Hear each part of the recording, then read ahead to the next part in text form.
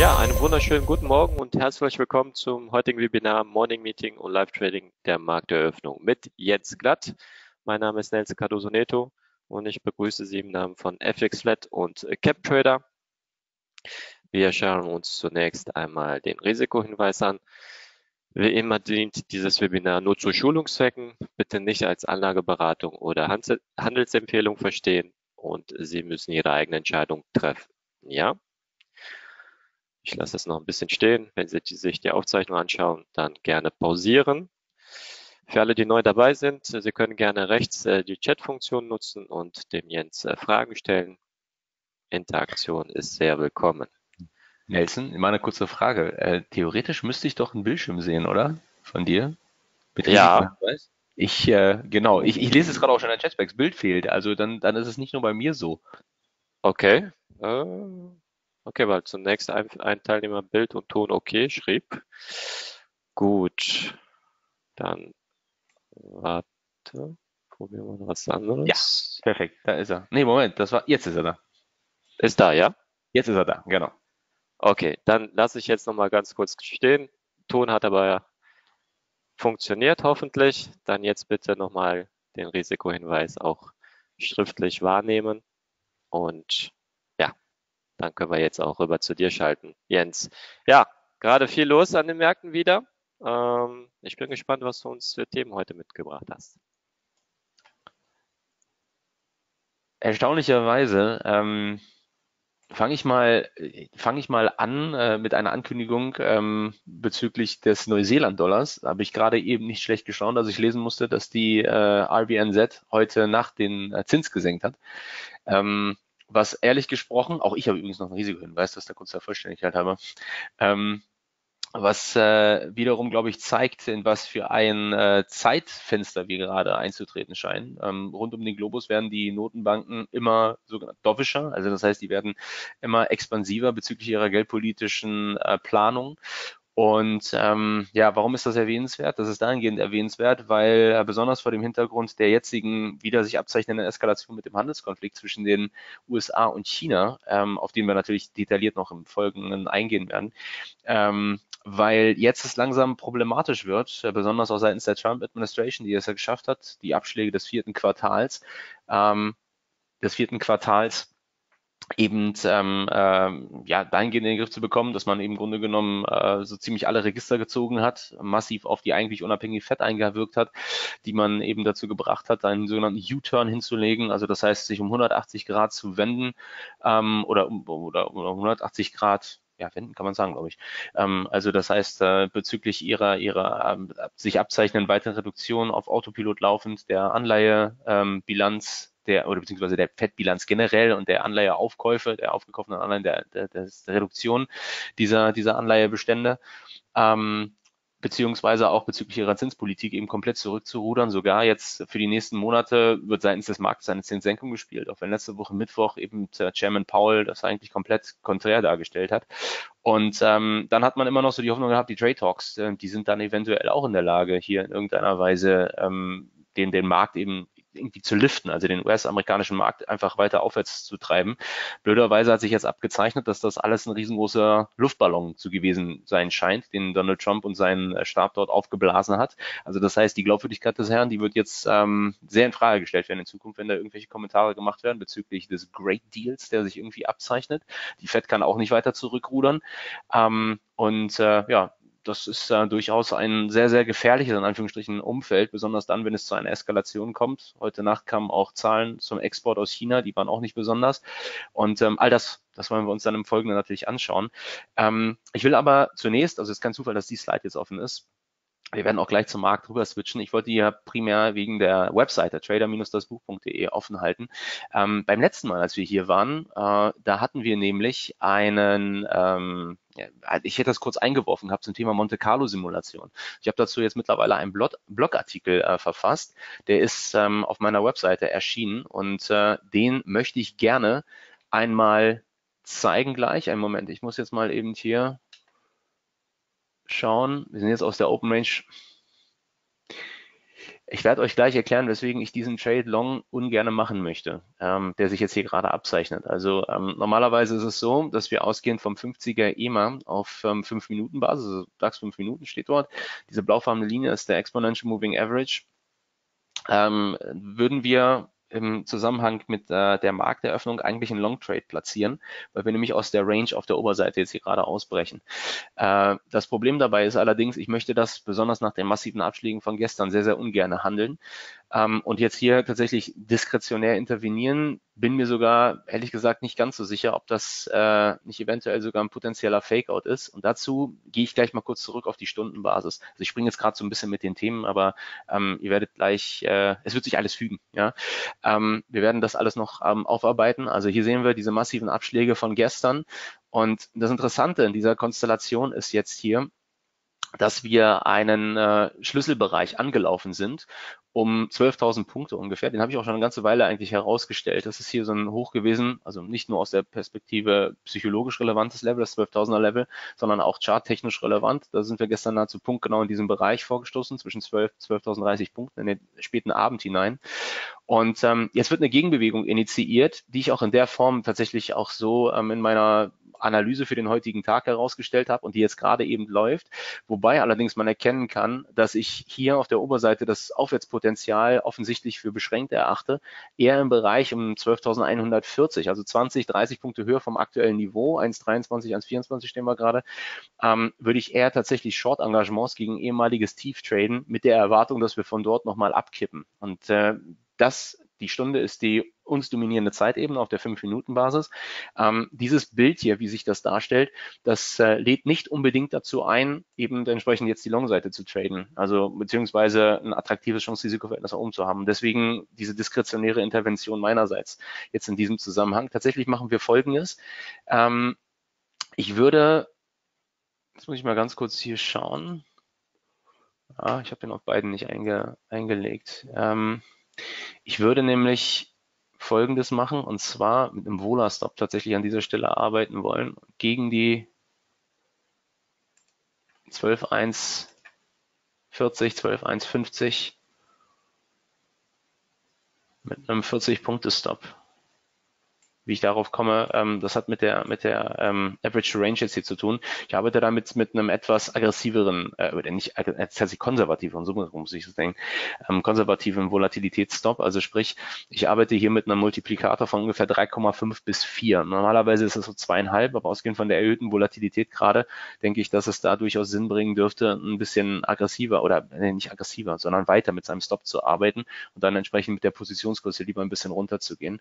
Ähm, und eine Order, die wir jetzt dann einlegen würden, die wäre Short, anders als wir es normalerweise tun von der Open Range, wäre Short gegen diese ehemaligen Tiefs. Also ich arbeite dann mit einem Sell Limit auf der Oberseite, auf der 12.145 bei einer bei einem Risiko von etwa einem Prozent oder 0,8, 0,9 Prozent.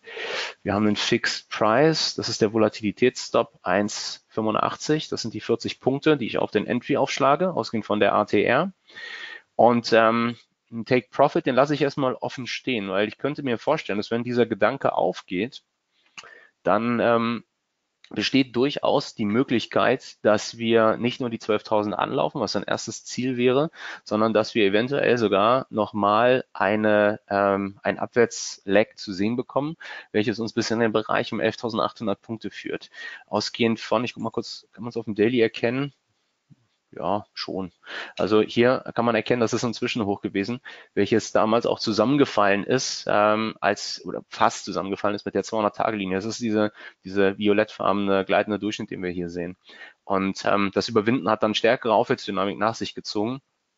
Ähm, und äh, ja, das ist für mich eine Region, die ich eben als potenzielles Kursziel anvisieren würde, sollte es zu einem Unterschreiten der 12.000er Marke kommen. Das ist interessanterweise auch so, ähm, fällt mir jetzt gerade auf, das könnte man auch mal kurz hier reinwerfen. Ähm, und zwar, ich gehe mal kurz auf eine Webseite, die heißt Stock Street, da waren wir auch schon mal. Und Stock Street hat ein Verfallsdiagramm hinsichtlich eben des kleinen Verfalls, der jetzt im, im Mai wieder ansteht. Also pro Monat gibt es dort am dritten Freitag immer einen Verfall. Ja, ähm, den großen Verfall, den kennen wir alle. Das ist der März, Juni, September und Dezember. Und ähm, dann ist es aber so, dass monatlich dennoch einmal Optionen verfallen. In dem Fall eben dann hier im Mai, jetzt am dritten Freitag, was dann, ich gucke mal ganz kurz, wie viele Freitag müsste das jetzt an? Das ist dann nächste Woche Freitag folglich, richtig? Genau, letzte Woche war der erste Freitag im Monat, also das heißt der 17. ist dann äh, der Verfall und hier kann man ganz cool reinzoomen und dann kann man was erkennen, nämlich dass zum einen diese rotfarbene Balken für uns sind da relevant, dass da eben das 11.000, äh, Entschuldigung, das 12.000er Level, dass das verhältnismäßig stark ausgeprägt ist hier ja, ähm, da hat sich also offensichtlich ähm, eine größere Meute an Marktteilnehmern gefunden, institutioneller, die eben darauf spekulieren, dass wir uns oberhalb von 12.000 Punkte halten können. Jetzt gehen wir davon aus, dass diese nicht in irgendeiner Form bereits gehatcht sind, ähm, also abgesicherte Positionen hier halten. Heißt also etwas anders formuliert.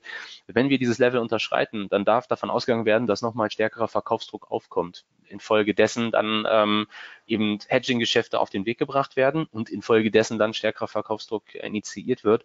Und das nächste potenziell hier etwas stärker herausragende Level findet sich im Bereich um 11.000 Punkte dann, äh, Entschuldigung, 11.800 Punkte natürlich, auf der Unterseite. Das ist nicht besonders stark ausgeprägt, dafür ist auch diese Signifikanz dieses Verfalltages ähm, nicht ausreichend stark, meiner Meinung nach, aber zumindestens mal ähm, dient es sehr gut als Orientierung und passt ganz gut zusammen auch mit der Beobachtung, die ich eben aus charttechnischer Perspektive hier habe, eben entsprechend. Also so komme ich auf die 11.800er Region.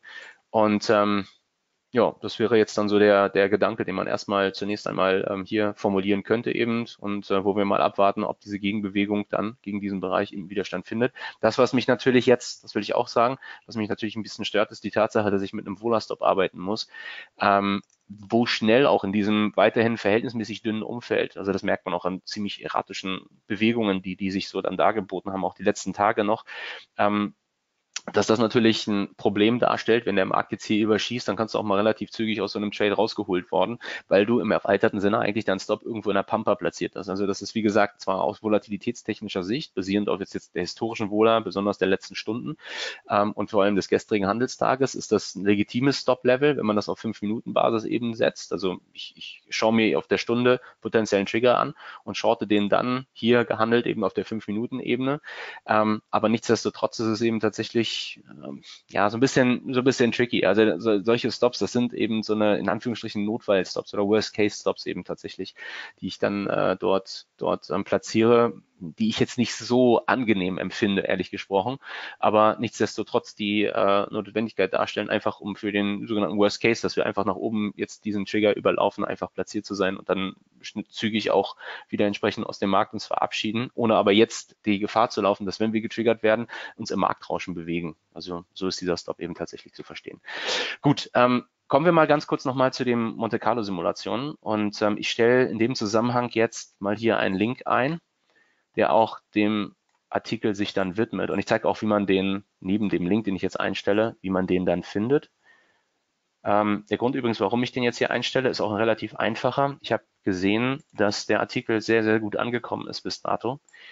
Ähm, der ein oder andere, also bis jetzt habe ich immer nur positives Feedback erhalten zu der, zu der Webseite zum Buch.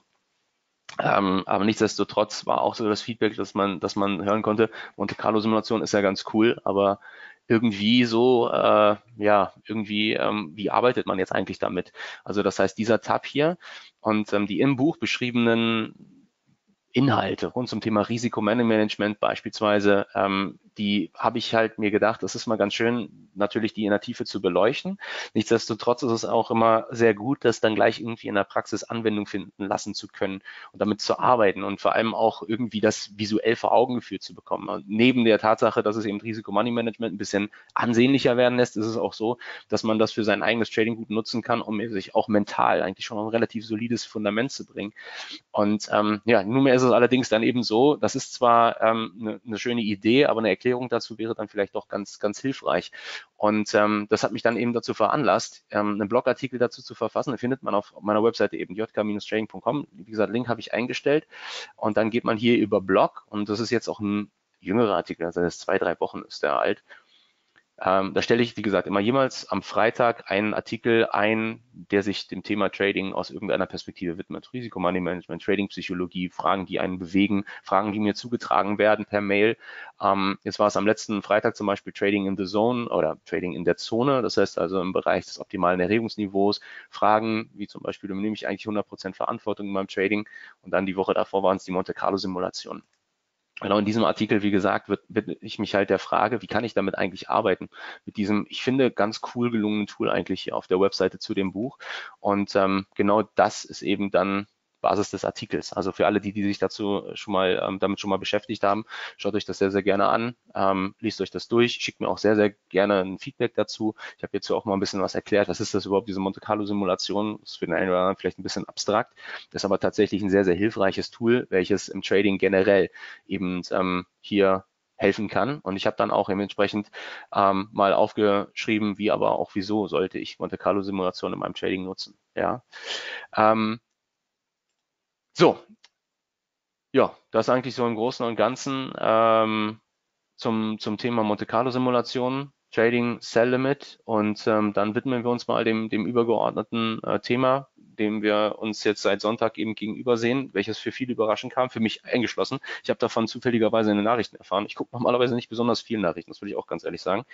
Ähm, beziehungsweise beschaffen meine Nachrichten nicht unbedingt jetzt über die äh, klassischen Mainstream-Medien, aber ähm, am Sonntag, ja, sagte man so durch den Fernseher und plötzlich lief da eben entsprechend, dass Donald Trump einen Tweet abgesetzt hatte, wonach er ankündigte, dass ab Freitag, ähm, diesen kommenden Freitag jetzt eben die äh, Importzölle auf diverse chinesische Güter von 10 auf 25 Prozent erhöht werden ähm, in Summe, weil ihm die äh, Verhandlungen, Trade Talks zu langsam gehen würden. Ähm, das ist insofern eine ziemliche Überraschung gewesen für den Markt und der Markt hat es auch entsprechend natürlich quittiert. Also wir haben es gerade im DAX ja schon gesehen, äh, die Abschläge, die sich dort dann eben gezeigt haben. Das ist hier die Kerze gewesen um äh, Uhr nachts unserer Zeit, als wir die Öffnung gesehen haben. Wir haben fast 200 Punkte von diesen Kursen hier, ähm, Schlusskurs letzte Woche Freitag haben wir eröffnet.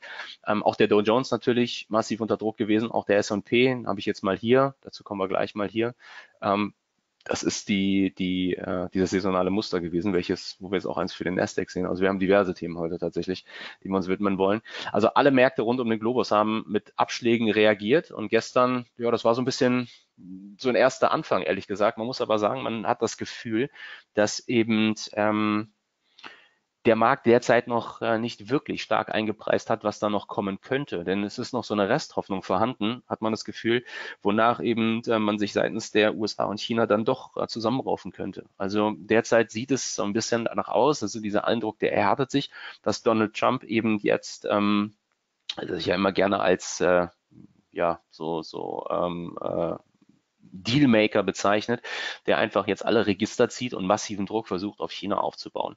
Ähm, ich hatte gestern jetzt schon im Morning Meeting gesagt, dass ich persönlich glaube, ähm, dass wir jetzt sehr, sehr stark abhängig sind von der ähm, von den Chinesen und deren Einschätzung. Also nicht, dass die jetzt die Good Guys am Table äh, werden, also bei diesen Verhandlungen. Aber zumindestens mal ist es so, dass die Chinesen, soweit ich es gehört habe, ohne das dann bestätigen zu können in irgendeiner Form, aber dass die Chinesen eine sehr eigene Art und Weise der Verhandlungen haben und ähm, sehr, sehr viel Wert auch meines Wissens nach auf Respekt, gegenseitigen Respekt eben äh, legen. Wir erinnern uns dran, ich glaube, es war in Buenos Aires letztes Jahr auf dem G20-Gipfel, als Donald Trump plötzlich ähm, irgendwie äh, damit sich berüstete, was für großartige Gespräche da stattgefunden haben zwischen ihm und dem äh, chinesischen Premier Xi Jinping. Und ähm, dass da sich große Deals abzeichnen und sonst dergleichen und wo die Chinesen dann anschließend gesagt haben, wir können uns da jetzt nicht so dran erinnern, dass das stattgefunden hat. Hat auch einiges an Turbulenzen nach sich gezogen und man hat auch definitiv ähm, spüren können, dass eben ähm, die Chinesen infolgedessen ziemlich verstimmt waren. Und ähm, nun ist es dann eben tatsächlich so, äh, das, was Trump jetzt gemacht hat, ähm, diesen, ich, ich will vielleicht auch mal ganz kurz die Tweets draufholen. Fällt mir gerade ein, muss ich aber erstmal vorbereiten. Einen Moment. Mal kurz zu Twitter. Ich hatte das retweetet gehabt. Ähm, die haben äh, dann zunächst die Gefahr eben beinhaltet, die Gefahr beinhaltet, ähm, dass eben tatsächlich die Chinesen sich komplett von diesen Gesprächen zurückziehen. Und das war auch die erste Meldung, die eben dann stattgefunden hat. Der chinesische Vizepremier Louis Liu He ähm, das ist mittlerweile revidiert worden. Der kommt jetzt doch nach Washington am Donnerstag, Freitag. Aber ähm, Fakt ist auf jeden Fall, wo haben wir es denn jetzt? Der hatte, da, da steht schon mal, ähm, der hat seinen Trip nach Washington, initial zumindest so waren diverse Meldungen an diesem Tag, erstmal gecancelt gehabt ähm, und hat gesagt, na gut, unter diesen Voraussetzungen werden wir mit Herrn Trump oder generell mit den USA nicht weiter verhandeln. Das sind keine, das sind keine Voraussetzungen eben tatsächlich. Mittlerweile hat sich das so ein bisschen ähm, beruhigt und die Chinesen scheinen so ein bisschen ihren Stolz ähm, herunterzuschlucken und sich jetzt doch auf den Weg nach Washington zu machen. Und infolgedessen hält sich der Markt verhältnismäßig stark noch. Also gestern, wie gesagt, diese Abschläge ähm, waren eigentlich folgerichtig. Ich muss ehrlich sagen, ich bin überrascht gewesen, dass sie gestern stattgefunden haben. Ich hätte schon am Montag damit gerechnet. Und ähm, nichtsdestotrotz ist es eben tatsächlich so, besonders wenn man sich eben den Devisenmarkt so ein wenig anschaut, aber auch den Aktienmarkt generell, der kann sich immer noch auf verhältnismäßig hohem Niveau stabilisieren. Und ähm, jetzt ist es, wie gesagt, eben potenziell eine Spekulation, dass es seitens des Marktes keinerlei ähm, ja, dass, dass, dass keinerlei Gefahr gesehen wird, dass diese, diese Tariffs wirklich auf den Weg gebracht werden. Die Option, die ja durchaus in dem Zusammenhang noch besteht, ist, dass es dort eben eine, eine Lösung gibt und diese, diese ähm, oder ein Deal gibt, dass diese Tariffs eben gar nicht in irgendeiner Form ähm, gegeben oder auf den Weg gebracht werden. Ähm, es gibt wieder eine Verzögerung, die auf den Weg gebracht wird. Dann wird sich eben herausstellen, dass Trump hier einfach nur geblufft hat. Ähm, es gibt die Möglichkeit, dass man sich vielleicht einigt auf einen Deal, der wenigstens ein kleiner Deal in Anführungsstrichen ist, aber die ähm, Tariffs eben nicht von 10 auf 25 Prozent, sondern eben auf 15 Prozent beispielsweise erhöht wird. Und diese verschiedenen Spekulationen gibt es. Ähm, keiner sieht so wirklich eine wirkliche Eskalation, dass die Gespräche komplett abgebrochen werden und dass es hier in irgendeiner Form eine vollständige Eskalation gibt.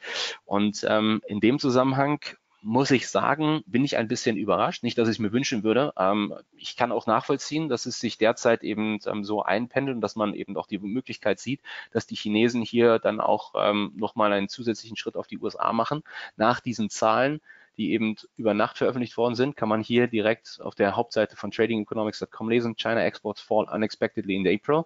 Ähm, das heißt, wenn wir da mal draufklicken, wird hier gezeigt, dass wir eben so, mal kurz gucken, aber die Zahl ist hier eigentlich richtig veröffentlicht. In irgendeiner Tabelle? Nee, nicht so wirklich. Also ähm, lesen wir oder lesen wir aus dem Text ab, sind um 2,7 Prozent year on year eben ähm, eingebrochen ja, ähm, vor, von einem vorherigen Sprung auf 14,2 Prozent positiv. Und auch hier der Markt hat, wenn auch einen niedrigeren als den Vormonat ähm, Datensatz erwartet, er hat zumindestens mal ähm, das zu positiv eingeschätzt. Also mit plus 2,3 Prozent sollten die Exporte eigentlich ähm, angestiegen sein. Nach diesen diversen Schätzungen sind minus 2,7 Prozent veröffentlicht worden. Das zeigt, dass diese ähm, Tariffs tatsächlich Einbußen auf Seiten auch der Chinesen schon bereits nach sich ziehen, negative Effekte auf die Wirtschaft eben die chinesische haben.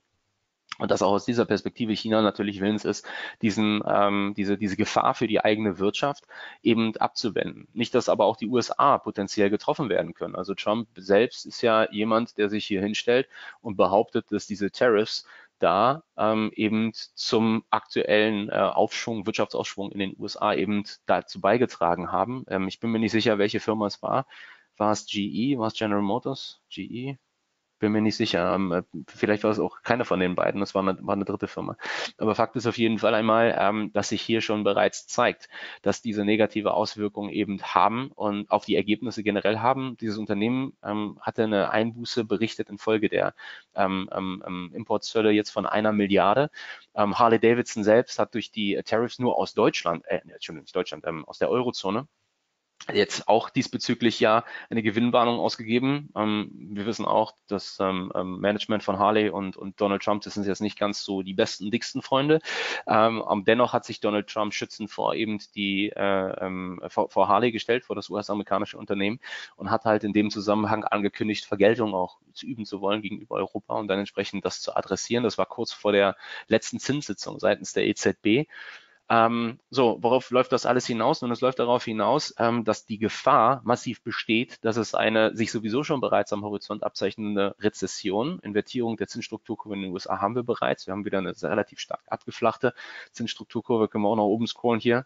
Habe ich auch geretweetet gehabt. Wo haben wir sie denn? Gestern, vorgestern, da. Ja, ähm, sind wir wieder bei einem, einem ähm, Spread zweijähriger zu zehnjährigen Zinsen von ähm, weniger als 20 Basispunkten. Also heißt anders formuliert, ähm, du kriegst auf äh, zweijährige US-Papiere 2,3 Prozent Zinsen ungefähr, während du auf zehnjährige 2,5 Prozent Zinsen bekommst. Also das heißt etwas anders formuliert, du bekommst auf zwei Jahre nahezu den gleichen Zins wie auf, ähm, ähm, auf länger laufende Zehnjahrespapiere. Und ähm, das ist insofern halt ähm, erwähnenswert, als dass das zeigt, dass der Markt derzeit kurzfristig stabilen Zins oder auch vielleicht sogar eine Zinsanhebung sieht durch eben eine sich kurzzeitig noch weiter aufbäumende US-Wirtschaft.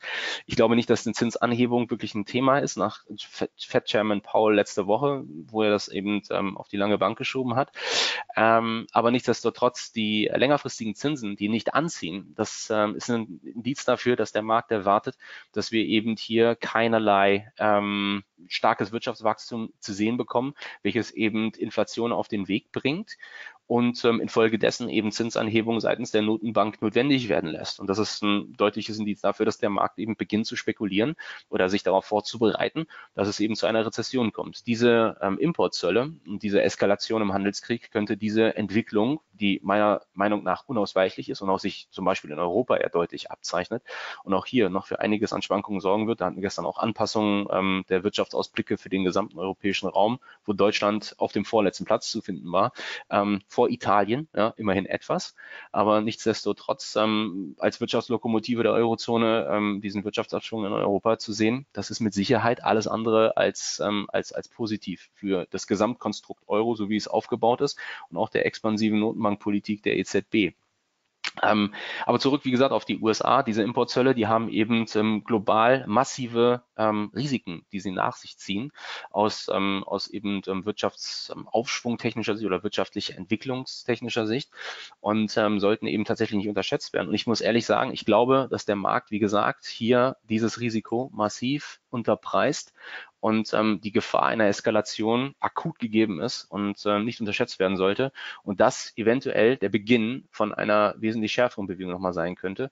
Dazu gucken wir mal nochmal auf den S&P wo wir eben hier nach einem kurzen Push auf neue Allzeithochs eben jetzt einen scharfen Rücksetzer sehen, ähm, der vielleicht auch ja, vielleicht erstmal sich Verhalten darstellt, aber wo die Beschleunigung in den äh, Wochenschluss hinein und dann erstmal in der nächsten Woche auch sich noch wesentlich dramatischer darstellen könnte und wo dann kurzfristig zumindest nochmal mindestens der Bereich um die 200-Tage-Linie in den Mittelpunkt des Geschehens rückt, eventuell sogar tatsächlich wir tiefer rutschen. Ähm, in dem Zusammenhang sei auch noch mal ganz kurz was erwähnt, was ich ganz interessant fand. Das habe ich gestern bei Zero Hedge zufällig gelesen. Und zwar ähm, ging es dabei darum, dass ähm, er eine Analyse ähm, zur Verfügung gestellt hatte dieser, also dieser Block Zero Hedge, ähm, der darauf hindeutete, dass ein Großteil der hier stattfindenden Käufe tatsächlich ähm, aus, wie gesagt, sogenannten Buybacks wieder entstanden ist. Also das heißt, das sind Aktienrückkaufprogramme gewesen seitens ähm, US-amerikanischer Unternehmen, die dort ähm, mit dieser Bewegung ganz wesentlich getragen haben. Nicht, dass das nicht was Neues wäre, aber es ist zumindestens mal, besonders wenn eben das so unausgeglichen stattfindet und im Grunde genommen nur Aktienrückkaufprogramme und weniger die Aussicht auf fundamentale weiter positive Entwicklung, auch besonders seitens des privaten Sektors hier eine Rolle spielt. Dieses billige zur Verfügung gestellte Geld der Notenbank beziehungsweise durch die Steuersenkungen der Trump ähm, Administration eben genutzt werden, statt Arbeitsplätze zu schaffen, tatsächlich nur ähm, dem Management die Taschen voll zu machen, oder auch den Aktionären die Taschen voll zu machen. Nicht, dass das nicht auch in der Vergangenheit schon so war, aber nichtsdestotrotz ist das eben ähm, ein Zeichen dafür, dass eben auch hier die Gefahr eines wirtschaftlichen Abschwungs nicht unterschätzt werden darf, weil man eventuell auf solch einen nicht so wirklich gut vorbereitet ist tatsächlich. Und ähm, ja, also Fakt ist auf jeden Fall einmal, noch stellt sich die Situation nicht dramatisch dar, kann sich aber noch wesentlich dramatischer in den kommenden Tagen darstellen. Auch vor allem, weil, und jetzt, jetzt wird es ein bisschen technisch, aber ähm, es ist auf jeden Fall auch ein wichtiges Thema, welches ich dann am Montag schon mal thematisiert habe und was gestern dann auch in den Mittelpunkt des Geschehens gerückt ist, weil wir nämlich ähm, diesen Schlüsselbereich begonnen haben zu unterschreiten, 2870, dieses Level. Ähm, und zwar sogenannte Risk Parity Funds spielen eine ganz wesentliche Rolle. Also man hat es gerade eben hier eventuell schon mal so gesehen. Ich hatte letzte Woche Freitag auch zum Commitment of Traders Report hier unter anderem wieder einen Retweet eingestellt gehabt zur aktuellen Entwicklung im VIX, im Volatilitätsindex auf den ähm, S&P 500. Also heißt, diese Marktteilnehmer, die sich hier positionieren, die kaufen oder verkaufen Volatilität. Und wenn man sich diese Grafik mal ein bisschen genauer betrachtet, leider etwas klein, aber nichtsdestotrotz, ähm, diese grünen Balken zeigen eine klare Tendenz nach unten und bedeuten nichts weiter, als dass der Markt aggressiv eben Volatilität am Verkaufen ist. Und äh, wir sind jetzt auf Stände gerutscht, die wir das letzte Mal gesehen haben, ähm, kurz bevor es dann im Februar 2018 massiv geknallt hat. Da kann sich der eine oder dran erinnern. Da gab es einen richtigen starken Anstieg der Volatilität, weil plötzlich nämlich ähm, Kursschwellen im Markt unterschritten worden sind, die eine derartige aggressive Short-Positionierung im ähm, Volatilitäts Index nicht mehr gerechtfertigt haben und dazu dann geführt haben, dass es zu einem Dominoeffekt kam, der massiv eben zum einen die Volatilität nach oben geschossen hat. Das war das hier, ja, ähm, und dann eben zu einer Reduktion dieser Short-Position geführt hat. Das wird auch diesmal nicht anders kommen. Es ist nur die Frage, durch was es initiiert wird. Und wir tanzen aktuell auf tatsächlich des Messers Schneide. Was ich damit meine, das findet sich in einem anderen Blogartikel, den ich natürlich ganz antizipierend schon verfasst habe, weil ich mir sicher bin, dass das früher oder später ein Thema ist.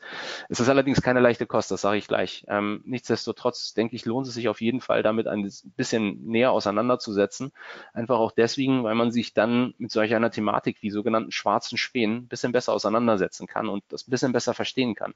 Auch wie zum Beispiel solche Hedgefonds, CTAs und dergleichen eben tatsächlich ihre Risiken kalkulieren.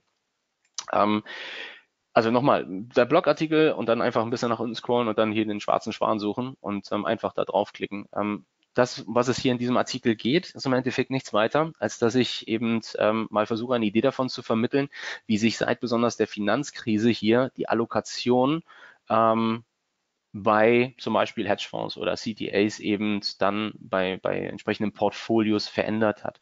Also anders formuliert, wenn ich jetzt ähm, zu einem Hedgefonds gehe, oder zu einem Vermögensverwalter, dann habe ich ja eine bestimmte Vorstellung von, mein, also von meiner Rendite. Klar, ich möchte möglichst viel haben, aber ein professioneller, seriöser Vermögensverwalter, der wird immer anfangen, zuerst aus der Risikoperspektive sich zu nähern und ähm, die Risiken und demnach auch die Bedürfnisse des ähm, Investors eben hier eben genauestens zu evaluieren. Und ausgehend hiervon schließt man dann von der Risikoneigung ähm, des Investors auf eben die Zusammenstellung, auf die Allokation des jeweiligen Portfolios. Und ähm, jetzt hat sich eben seit ähm, 2010 ungefähr, seit der Finanzkrise 2008 habe ich hier geschrieben, der Fokus immer stärker ähm, eben auf das, ähm, auf diese, auf dieses Modell der Vermögensallokation, der sogenannten Risk Parity Methode eben tatsächlich ähm, verlagern. Risk Parity Ansatz, der zielt bei seiner Allokation darauf ab, bei gleichem Risiko, wie zum Beispiel beim traditionellen Portfolio resistenter gegen Marktabschwünge zu sein. Und vorstellen kann man sich das wie folgt. Die äh, schauen sich einfach die jeweilige Volatilität am Markt an. Ja, also und sind dann entsprechend positioniert, beispielsweise in Aktien, ja, so einfach mal dargestellt, dass die sagen, wir sind 90 Prozent in Aktien, haben dann eben nur noch 10 Prozent in Anleihen und den Rest managen wir eben über dann noch Zusatzpositionen äh, in zum Beispiel Volatilität.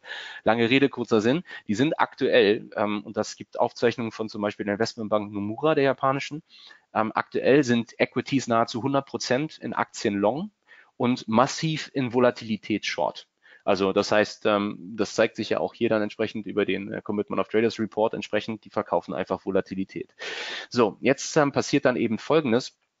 Ausgehend von dieser Volatilität werden natürlich auch entsprechenden ähm, Niveaus berechnet, dann rein statistisch betrachtet, ähm, wo eben entsprechend Anpassungen dieser Allokation vorzunehmen sind. Also anders formuliert, wenn der Markt jetzt ein bestimmtes Kursniveau unterschreitet, ähm, beziehungsweise die Volatilität ein bestimmtes Kursniveau beginnt zu überschreiten, dann gilt es entsprechend, diese Portfolios zu adjustieren. Also anders formuliert, die gucken sich einfach dann sogenannte ja, auch Sigma-Events an. Also das heißt, es gibt ja eine Normalverteilung, ähm, ausgehend, also ich mache es mal anders, ich zeige euch das mal anders. Wenn ich jetzt zum Beispiel auf eine Webseite gehe wie ähm, OnVista, ja, und bei OnVista gucken wir uns den VDAX an oder den WIX zum Beispiel.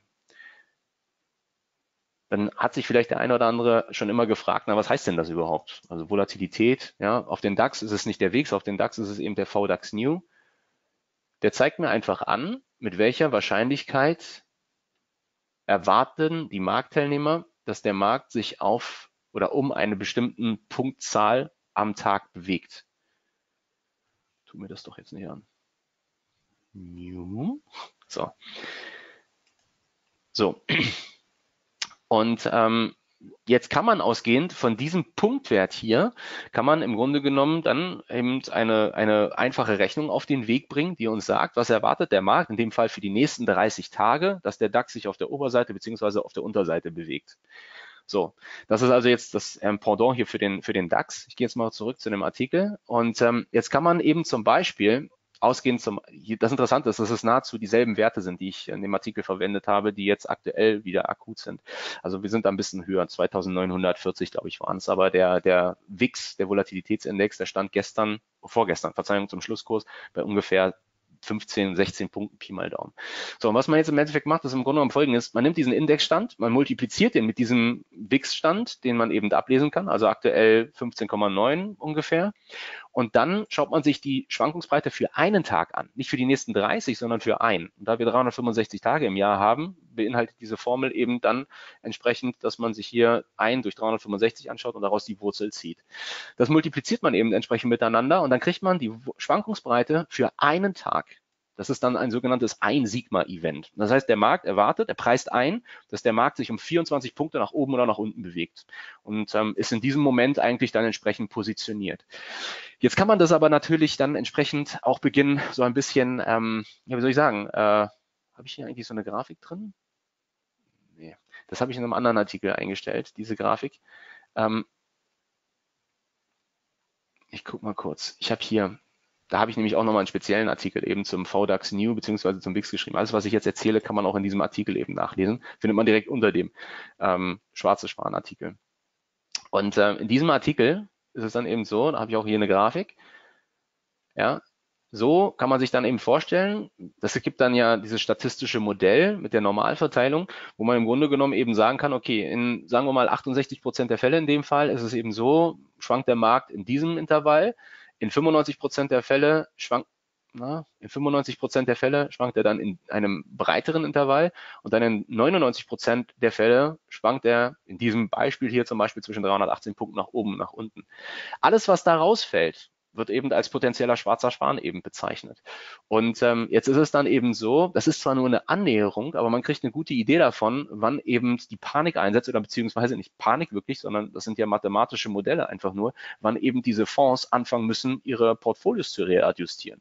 Und in dem Fall ist es eben so, dass wir von den 2940 zum äh, Schlusskurs von Montag am ausrechnen können, dass das ungefähr wieder 70 Punkte sind auf der Unterseite dann, also 2870 Punkte, wo eben eine Schwelle unterschritten wird, wo dann eine entsprechende Anpassung dieses Portfolios stattfinden muss und wo es auch massive Verkäufe gibt. Also anders formuliert, wenn die jetzt hier aktuell zum Beispiel 100 Prozent in Aktien long sind in ihrem äh, Portfolio, dann müssen sie die Position reduzieren auf beispielsweise 60 Prozent long. Das kann man sich aber vorstellen, wenn du da zig Milliarden akkumuliert hast infolge dieser aberwitzigen Rallye im Grunde genommen seit Ende des Jahres hier, seit diesem, seit diesem sehr, sehr dramatischen Abschlag auf der Unterseite, ähm, dass da natürlich auch eine richtige Verkaufswelle beginnt, in den Markt eben entsprechend zu rollen. Und ähm, dann dafür logischerweise in einem besonders dünnen Marktumfeld, in dem wir uns gerade finden, dazu beiträgt, dass eben diese Bewegung nach unten beginnt, sich immer stärker zu beschleunigen und zu einem Dominoeffekt kommt, der eben dann solche massiven Abschläge zur Folge hat, die dann auch gemeinhin in den Medien als Flash Crash kolportiert werden.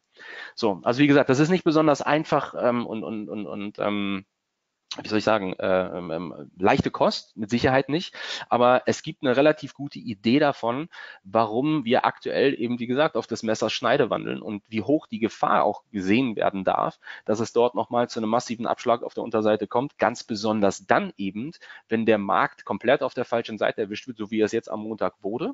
Wir haben dann eine plötzliche Kaufwelle wieder gesehen, eine unsichtbare Hand, die in den Markt intervenierte und die uns einfach mal ähm, scharf nach oben zog. Also besonders schön kann man das hier im DAX sehen.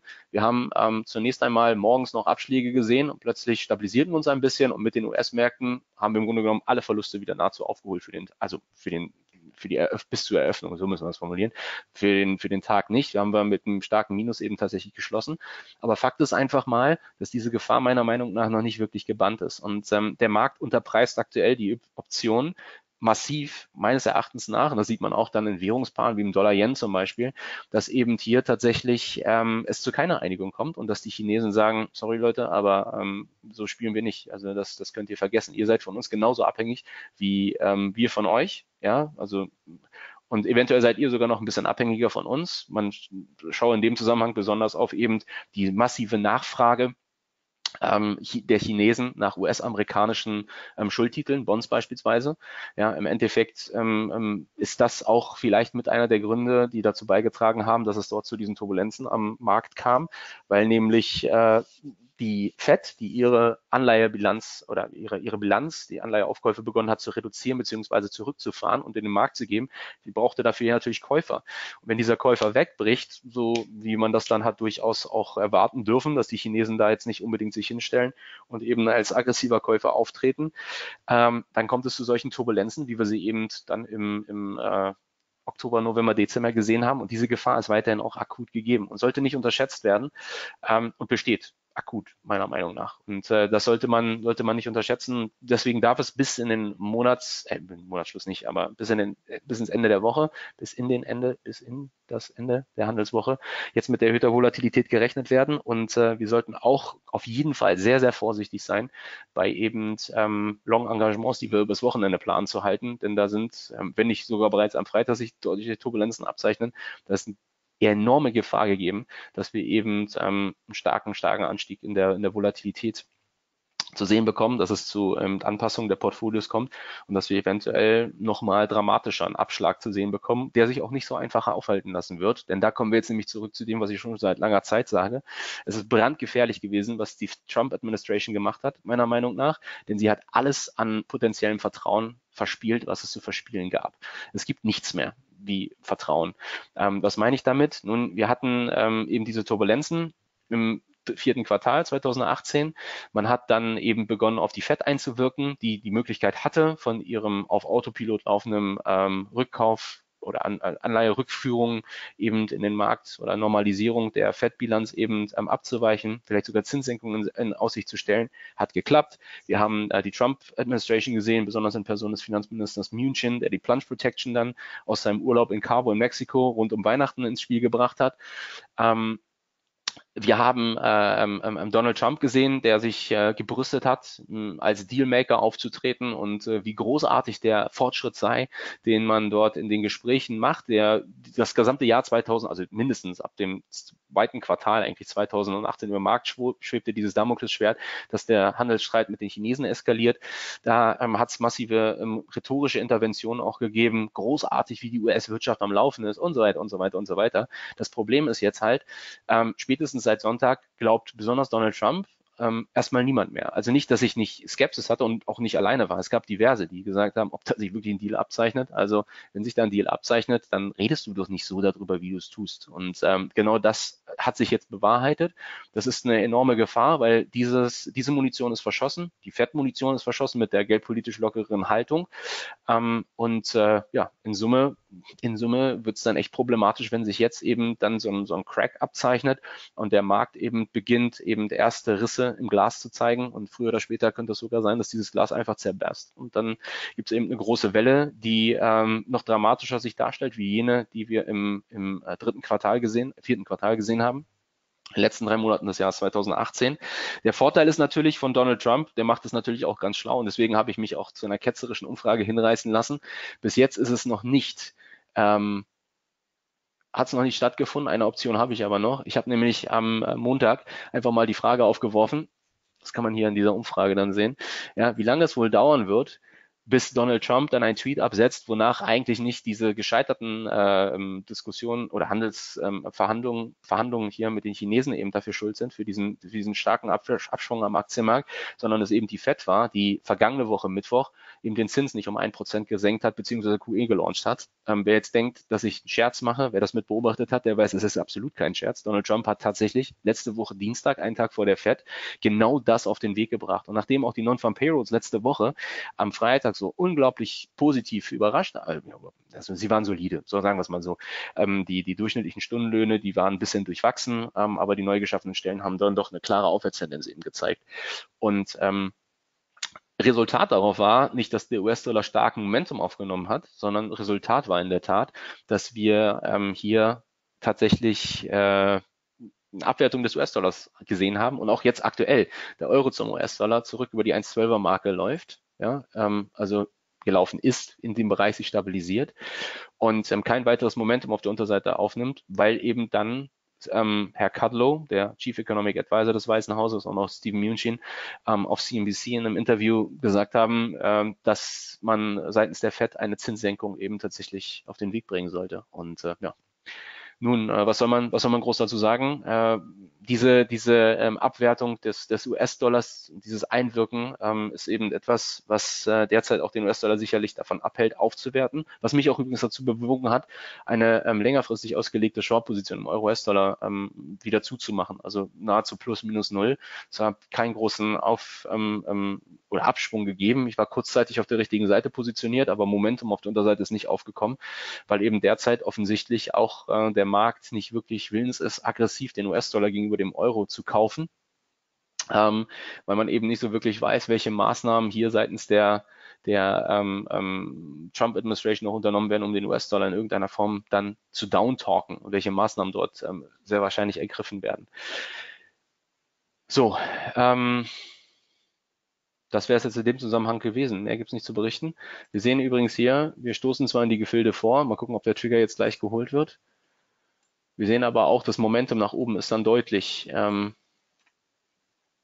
wird deutlich geringer. Also das zeigt auch für Long-Engagements, rein technisch, wie gesagt, ist das, ist das nachvollziehbar, die Long-Seite zu traden, wäre absolut legitim, aber dynamischer Kursanstieg, der sieht definitiv anders aus. Und ähm, meiner Meinung nach hat das damit zu tun, weil wir hier einfach in dem Bereich eines potenziellen Short-Triggers laufen, ähm, der eventuell auch nochmal einen stärkeren Impuls nach unten eben initiieren könnte. Ja, das sollten wir auf jeden Fall auf, der, auf, der Schirm, auf dem Schirm eben tatsächlich haben. So, ich schaue mal kurz in die Chatbox.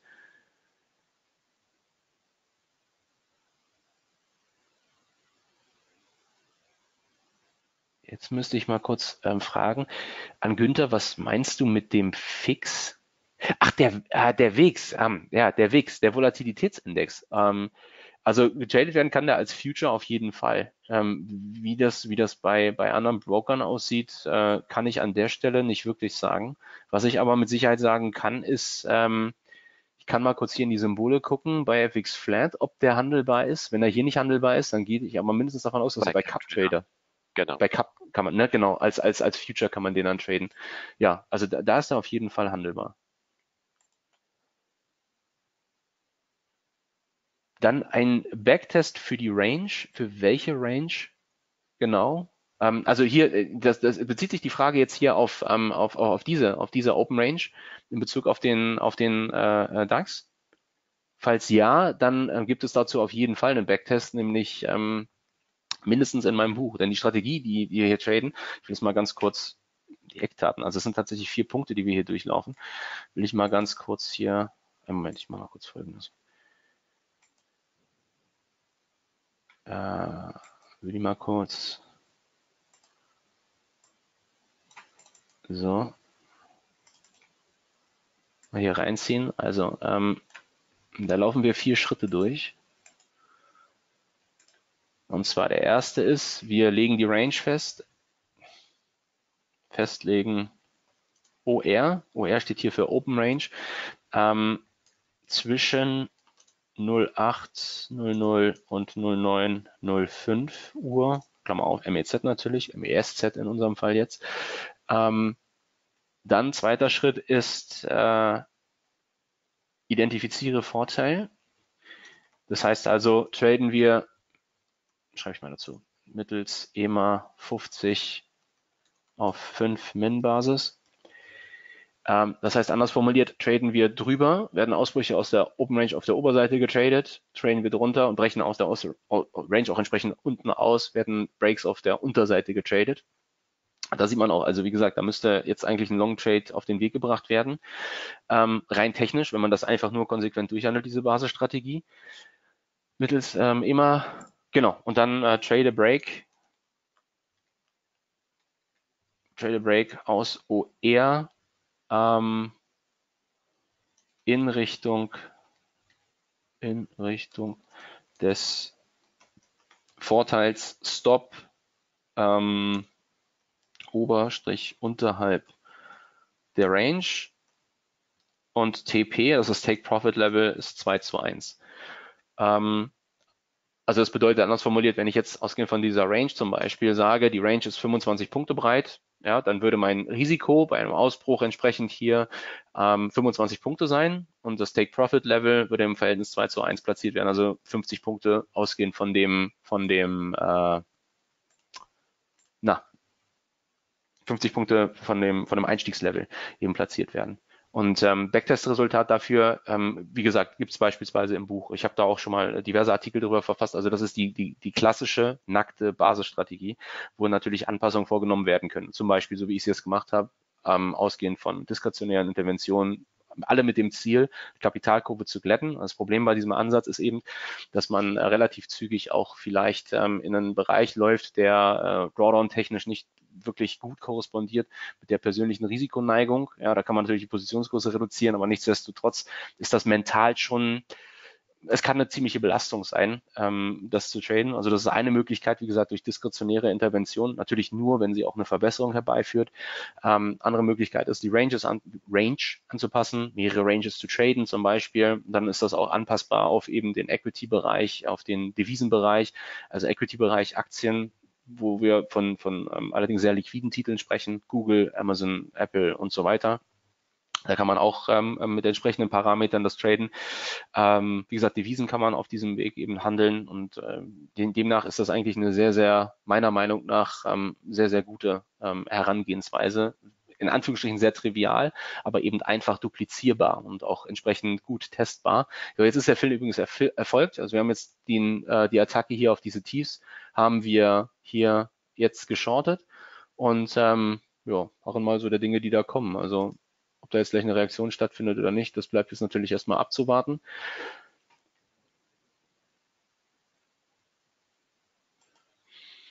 Äh, theoretisch Theoretisch schon. Ähm, also Werner stellt eine sehr interessante Frage. Da sind wir dann aber recht zügig in einem äh, fast schon pathologischen Bereich, weil da nämlich diverse äh, Faktoren mit einzubeziehen sind natürlich.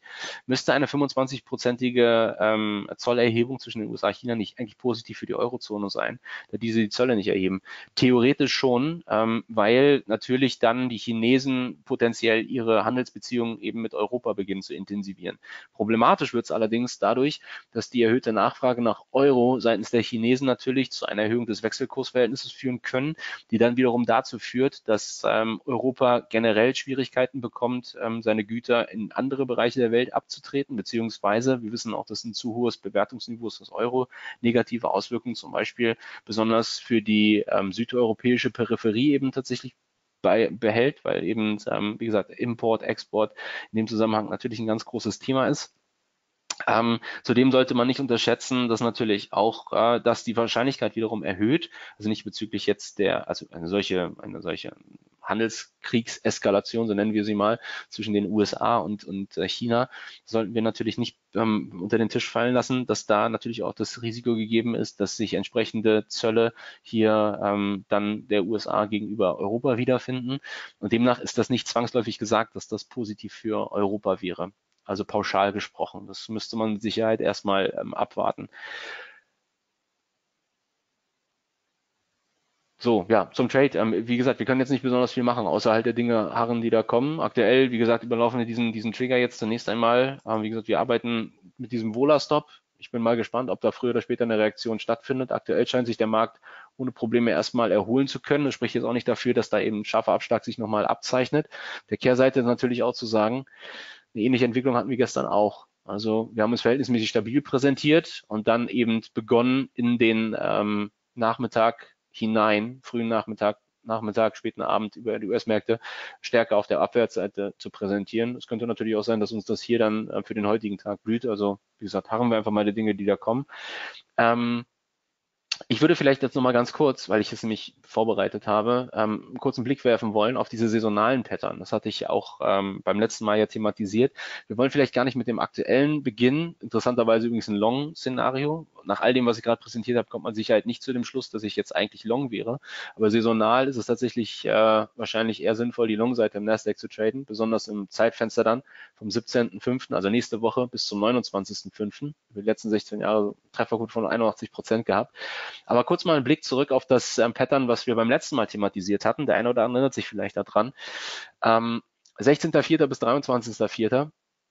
Da hatten wir hier eine Trefferquote ähm, von 16 zu 21, also etwas über 75 Prozent tatsächlich, dass nämlich der S&P in diesem Zeitfenster zulegen dürfte. Und wenn wir jetzt ganz stark reinzoomen, ich habe es hier oben mal herausgestellt, diese Handelstage, ähm, da kann man sehen, vom 16. startend, wenn wir dort eben den Entry gewählt haben mit einem entsprechenden ähm, Vola-Stop, den ich, den ich hier thematisiert hatte, von ungefähr 25 Punkten und sind wir bei 75 ungefähr gewesen. War knapp nicht geholt worden hier mit dem Stop. Und dann eben sind wir dort mit dieser, mit diesem Push auf der Oberseite an genau dem Tag, wo wir dann am Ende des Handelstages den äh, Trade geschlossen haben, eben aus dem Gewinn gegangen. Und ähm, ist es ein Gewinn aufgelaufen von, ich glaube, etwa 26, 28 Punkten, so Pi mal Daumen. Vom ähm, Entry, der 9, bei 905, 906 lag. Ähm, der Schlusskurs, der lag eben hier bei ja sogar 30, also 9, 9, 36, 9, 37, also 30, 31 Punkte Profit sind dann eben in diesem Fenster entstanden. Also das heißt, dieses saisonale Muster ähm, ist hier in diesem Fall aufgegangen und ja, ähnliches Muster findet man, wie gesagt, jetzt im US-amerikanischen Markt hier mit Nasdaq 100. Nasdaq 100 Long zwischen dem 17.05. und dem 29.05. Und ähm, in 13 dieser, dieser 16 Jahre hat man eben in diesem Fenster einen anziehenden Nasdaq gesehen mit einem durchschnittlichen Gewinn von 66 Punkten, 66,2 Punkten ähm, und einem durchschnittlichen Verlust dann hier von 29,67. Bei einem maximalen Verlust, fällt übrigens ein L, Verlust, Verlust, maximalen Verlust hier, beziehungsweise maximalen Drawdown von 53 beziehungsweise 28,5 Punkten. Und ähm, ja, die Idee wäre im Grunde genommen, dass man eben zum Schlusskurs am 17.05. Ähm, eine Long-Position in den Markt gibt, dann wieder mit einem entsprechenden Stop arbeitet. Ich berechne den immer wie folgt. Ich, ich schaue mir immer gerne in dem Zusammenhang zweierlei an, nämlich ein, zum einen die durchschnittliche Schwankungsbreite über den Daily Range Indikator, die letzten 15 und 20 Handelstage und ergänzen dazu nochmal die Average True Range. Auch da arbeite ich tatsächlich dann mit einem, mit einem Vola-Stop. Ähm, ausgehend allerdings von, von historischen Daten hier an dieser Stelle. Ähm, und wenn man sich das jetzt anschaut, dann sehen wir eben den durchschnittlichen, Moment, so, wenn man sich das jetzt eben anschaut, dann sieht man eben, gehen wir mal aktuell davon aus, dass die ATR die letzten 14 Handelstage bei 107 Punkten notiert hat. Ja, also das heißt deutlich oberhalb hier des durchschnittlichen Verlusts von 30 Punkten gelegen hat. Die äh, durchschnittliche Handelsspanne, dort kann man sie sehen im, im äh, Nasdaq liegt auch ungefähr im Bereich um die 100 Punkte. Letzten 20 Tage zum Beispiel lag die Handelsspanne im Schnitt bei 90,8 Punkten, die letzten 10 Tage im Schnitt bei 115. Ähm, also das bedeutet, das passt dann auch relativ gut mit dieser 14er ATR eben zusammen. Und äh, so, wenn man das eben jetzt sich anschaut, dann äh, tut man wahrscheinlich gut daran, derzeit vor dem Hintergrund der erhöhten Volatilität mit einem entsprechend weiteren Stop zu arbeiten wahrscheinlich sogar um die 100 Punkte tatsächlich dann ähm, angesetzt werden sollte. Würde dann zum Schluss Kurs eben am 17.05. eine Long-Position eingehen, also Kasse-Schluss, das heißt ähm, 21.59 Uhr ähm, unserer Zeit. Wall Street 22 Uhr ist der Kassenschluss. Und da würde man den, den Long Trade aufsetzen mit einem 100 Punkte Stop eben entsprechend. Ähm, Positionskurse entsprechend natürlich zu wählen bei einem jeweiligen Risiko, was man bereit ist zu gehen und würde dann darauf spekulieren, dass in den kommenden roundabout zwei, zweieinhalb Wochen eben tatsächlich hier ein ähm, Gewinn aufläuft von 66 Punkten. Jetzt wird der ein oder andere schon sagen, was, 100 Punkte Stop, um auf 66 zu gehen. Ähm, das ist an der Stelle tatsächlich eine Möglichkeit, denn sie hat einen positiven Erwartungswert ergeben aus der Tatsache, dass wir mit einer Trefferquote von 81 Prozent arbeiten. Ähm, lass mich das ganz kurz mal hier eintragen. Also Nasdaq 100 saisonal oder seasonal long. Seasonal long. Parameter sind Entry long, SK für Schlusskurs, 17.05. So, Stop. Und S, ich schau mal so, SK 1705. mach da mal eine Klammer drum, minus 107, das sind 107 Punkte, äh, oder 100 Punkte, Verzeihung, die wir gerade hier gegeben hatten. Und dann setzen wir unser Ziel oder Take Profit, Gewinnmitnahmelevel bei SK 17.05. plus und dann 67 Punkte auf der Oberseite. So, hier sieht man schon, der Gewinn, den ich anstrebe, ist offensichtlich kleiner als hier das Risiko, was ich bereit bin einzugehen. Aber nichtsdestotrotz, ähm, wir gehen halt hier über die Trefferquote, um unseren Erwartungswert zu berechnen. Der gibt sich ja dann durch eben diese 67 Punkte, wenn wir davon ausgehen, dass wir die gewinnen, eine Trefferquote in der Vergangenheit gab von 81 Prozent. Ja, Verzeihung, 0,81, also 81 Prozent, 0,81. Ähm, und davon ziehen wir dann die 100 Punkte ab, die wir als Risiko haben, multipliziert, na, multipliziert mit eben äh, 0,19, also 19 Prozent. Und ähm, dann ergibt sich das, ich rechne das mal kurz aus, 67 mal 0,81 ist 54,27 minus 0,19, also 19. Und das offensichtlich, also ich, ich kürze das jetzt mal ab, das ergibt sich zu größer Null, ähm, weil das Ergebnis über 30 Punkte, 35 Punkte ungefähr im Schnitt ähm, positiv ist. Und das ist genau das, was wir anstreben in unserem Trading, Setups mit einem positiven Erwartungswert zu, zu handeln. Denn positiver Erwartungswert ist gleichzusetzen mit profitabel oder Profitabilität. Das ist auch das, was wir langfristig in unserem Trading generell anstreben. Und ähm, ja, deswegen ist dieses Setup meiner Meinung nach ein relativ attraktives ähm, und, und, durchaus interessantes. Ähm, ergänzend dazu könnte ich jetzt auch noch eins angeben für den Australdollar gegen den kanadischen Dollar. Da habe ich auch noch eins, das ist allerdings ein sehr exotisches Währungspaar, hat noch eine leicht höhere Trefferquote eben tatsächlich. Ist dann anzutreffen dann in der Tat ab heute, ja, vom 7.5. bis zum 30.5. Ähm, jetzt geht uns ein bisschen die Zeit aus, aber ähm, von dem will ich tatsächlich absehen. Ja, das möchte ich ungern jetzt gerade thematisieren, infolge nämlich dieser Unsicherheit, die wir am Markt sehen, infolge dieser Handels, dieses Handelskonfliktes. Und ähm, der Grund dafür ist relativ einfach. Es gibt eine Betrachtung, die zeigt, dass der kanadische Dollar verhältnismäßig stark positiv korreliert ist zum Volatilitätsindex ähm, WIX oder neg negativ korreliert ist, so muss man sagen. Also es bedeutet anders, wenn die Situation am Markt eskaliert, darf man eher erwarten, dass dann äh, es zu Kapitalabflüssen auch aus einem rohstoffsensiblen Asset oder aus einer rohstoffsensiblen Währung wie dem kanadischen Dollar eben kommt. Ähm, und äh, da möchtest du ungern den kanadischen Dollar dann gegenüber dem äh, oder gegenüber jeder Währung eigentlich long sein. Klar könnte man jetzt argumentieren, aber der Australdollar ist ja nicht an China gebunden und würde nicht der Australdollar auch noch stärker unter Druck ähm, geraten. Das wäre natürlich ein ähm, valides Argument. Aber ähm, normalerweise strebst du eigentlich danach, eine starke Währung gegen eine schwache Währung zu traden und nicht jetzt hier zu wählen, dann in diesem Fall ein bisschen dramatischer formuliert, ähm, ob jetzt Pest oder ob Cholera die bessere Alternative wäre in solch einem Szenario. Und deswegen würde ich gerne von dem, äh, dem Setup tatsächlich absehen wollen und äh, dann lieber hier den Fokus auf den Nasdaq eben tatsächlich legen. Ja, insofern, das wäre es meinerseits gewesen. Prima. Vielen Dank, Jens, äh, für das Webinar heute und auch für die äh, Trade-Ideen, die du ja für dich erarbeitet hast. Und natürlich danke an alle für die Teilnahme und äh, für das Interesse. Das nächste Webinar mit Jens wird am 22. sein, also in zwei Wochen. Und ähm, ja, bis dahin wünsche ich Ihnen natürlich eine erfolgreiche Woche, noch einen schönen Tag, passen Sie auf Ihre Position auf und dir natürlich auch, Jens, eine erfolgreiche Woche. Äh, bis zum nächsten Mal und ich verabschiede mich. Jens, du hast wie immer das letzte Wort. Dankeschön. Happy Trading. Passt eure Stops auf und äh, bis in zwei Wochen. Ich freue mich. Habt euch wohl. Super. Tschüss.